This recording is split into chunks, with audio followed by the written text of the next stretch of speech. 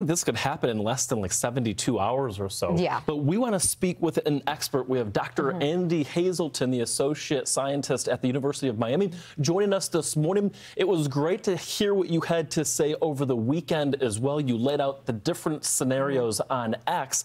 And Dr. Hazelton, I'm curious from your perspective, you had a, you've had a chance to look over the most current models this morning. Any changes from what you saw yesterday to today?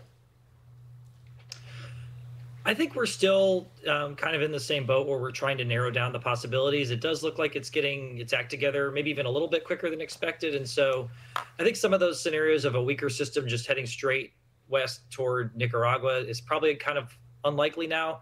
I think we're probably either going to see um, a storm that forms more quickly and turns right away toward Hispaniola, or maybe takes a little bit of time to get together and then um, kind of meanders south of Jamaica over the very warm Caribbean. So maybe narrowing down the possibilities a little bit, but there's still a lot of uncertainty as to what areas might be impacted by this. Yeah, it has been interesting to see the evolution. I believe that I was even able to catch up with you, Andy, on Friday, if I'm remembering correctly. But Friday was really one of the first days we started to see at least the Google AI models, the AI models pick up on that northward northeastern turn towards the island of Hispaniola. Um, but the NHC this morning put up, you know, increasing the chance of development over the next two days as well as the next seven days. So it does feel like things are progressing. Um, but obviously, I guess until we get at least that close circulation to the surface, um, uh, some of these models go out to seven days to 10 days to maybe seeing anything truly impactful for some of these islands. Yeah, and it's it's a lot of the uncertainty is from you know whether this is going to be a, a, more shallow system that's steered by the trade winds, or if it gets um, vertically aligned and deeper quickly, it might feel that that trough and get picked up across the island of Hispaniola.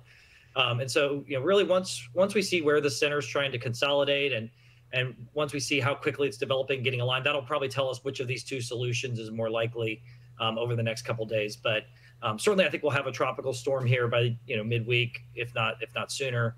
And you know, either way, um, if it goes north, you're probably going to get um, you know potentially a hurricane and a lot of flooding over Haiti and Dominican Republic. Um, very vulnerable to flooding with the mountains. And then if it does um, take longer you know, to develop, if it does turn west, then you have a storm that's going to be over the um, some of the warmest water in the world um, right now, and very deep warm water. You know, with, with several days to develop, and then probably eventually turning in toward Jamaica or Cuba. And so um, unfortunately, once the storm gets to the Caribbean, it, it's hard to avoid hitting somebody. So um, we'll just have to kind of watch and, and see how quickly it develops and how things evolve. Yeah, there's there's literally land surrounding all of the Caribbean, as you can see, and it can't reverse its way back out, unfortunately.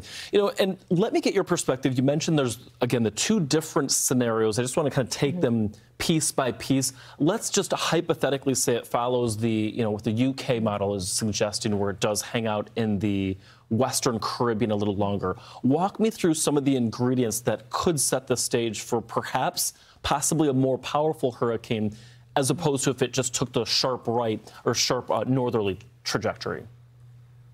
Yeah, because if it if it goes west, it'll have you know upwards of probably a week or more over over the um, Caribbean, and especially if it then you know stays a little bit north of Honduras, you'd have you know seven to ten days perhaps, and the water there is um, you know 85 86 87 fahrenheit it's very deep. So even if it's a hurricane were to sit in one spot for a while it would just be churning up more warm water. It wouldn't be um, really cooling itself at all. The upper level winds are very light which means there's not going to be much shear.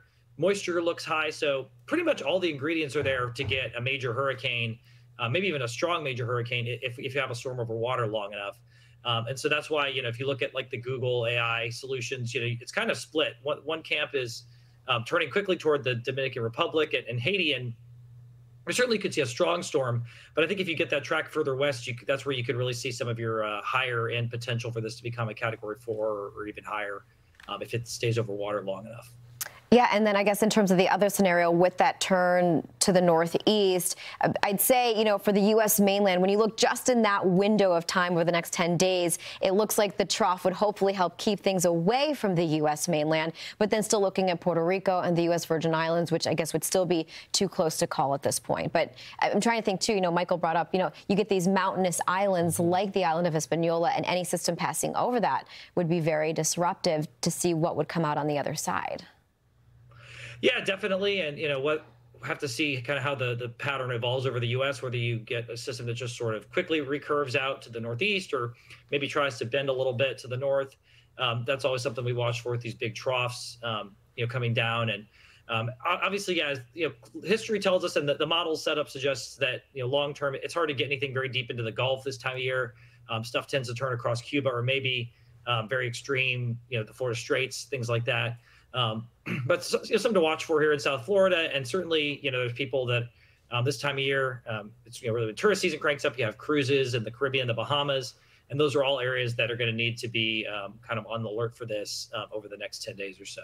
All right, I'll let you have the last word here. Do you think that this may mark the end of the Atlantic hurricane season after the system? Yeah, I never want to totally rule anything out, but right now um, we just had a big pulse of rising air. Um, MJO is what we call it, move through. So that's sort of what set the stage for for this potential system. After this, it looks like things get a little bit less favorable. Um, and as we get into November, it just gets harder to to get stuff with the jet stream coming down. Can't rule anything out, but at least certainly in terms of you know potential big impacts and things we have to watch in the U.S. Hopefully, this is it. I think I'd be okay with that. I think Same. it'd be okay if Same. we can keep Melissa not getting whatever is Melissa, which would likely be this, mm-hmm. um, not causing too much damage, and then we close the books on the season. But Hopefully. we still have what to the end of November to go. Mm-hmm. We'll see what Mother yeah. Nature throws at us. Always appreciate you tuning in on the conversation or joining in on the conversation. Dr. Andy Hazelton, Associate Scientist at the University of Miami. Thank you. Thank you.